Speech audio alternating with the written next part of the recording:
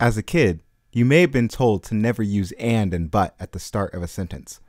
But the truth is, starting sentences with but and and is actually always grammatically okay. So, but and and are conjunctions, which means that they're words used to connect clauses, which are a group of words that contain a subject and a verb. So, the man ran is a clause and also a sentence. And the bear almost caught up with him, but the man ran is also a valid sentence. And the bear almost caught up with him, but the man ran is also valid.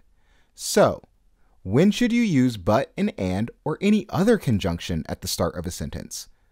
For some people, using a conjunction at the start of a sentence sounds informal, and it's often attention catching, and people might insist that you're wrong. But starting sentences with a conjunction can give the reader some breathing room in between sentences. And the fact that you can combine or separate two sentences with conjunctions can be helpful when writing something rhythmic like poetry or song lyrics. So, always be mindful of where you use your conjunctions.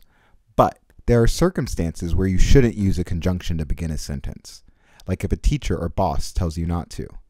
But it's never grammatically wrong to use them at the start of a sentence, despite what your elementary school teacher might have said.